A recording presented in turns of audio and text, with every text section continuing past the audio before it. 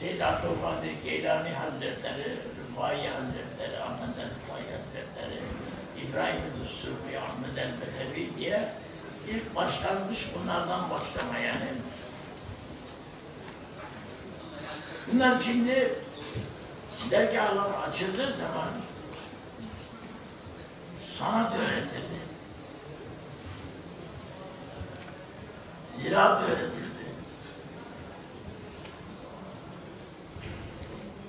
Efendime söyleyeyim, eee Ebru dersi verildi. Tezhip dersi verildi. Marangozluk öğretildi. Demircilik öğretildi. Bunlar dergahlarda öğretiliyordu. Bunlar öğretiliyordu. Dergahlar bunları öğretiyor. Biliyorsunuz Beşiktaş'ta Yahya Efendi Hazretleri var. Bilmem gittiniz mi? O Yahya Efendi Hazretleri'nin aşağıda bilmem ne lisesi var orada Beşiktaş'ın ne lisesi var. Orası onun gemi sanayinin yeriydi. Orada gemi yapılıyordu. İrfan orada gemi yapıyordu. Yukarılarda şeye kadar ziraat yapılıyordu. O zaman dergahlara intisap edenler çoluğunun çocuğunun rızkını da oradan alıyordu. Sen geleceksin bizim dergahta çalışacaksın, çalışacaksın.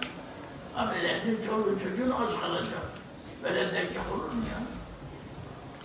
Uydurma. Ha. Aziz Mahmud Hüdayi Hazretleri'nin çiranesi var. Küçük Çamlıca'da. Oradan ta Tudumlu'ya kadar Aziz Mahmud Hüdayi Hazretleri'nin vakfiyesidir. Sattılar, yediler, sattılar, yediler. Şimdi bir caminin olduğu yer kaldı. Caminin etrafını bile sattı yediler.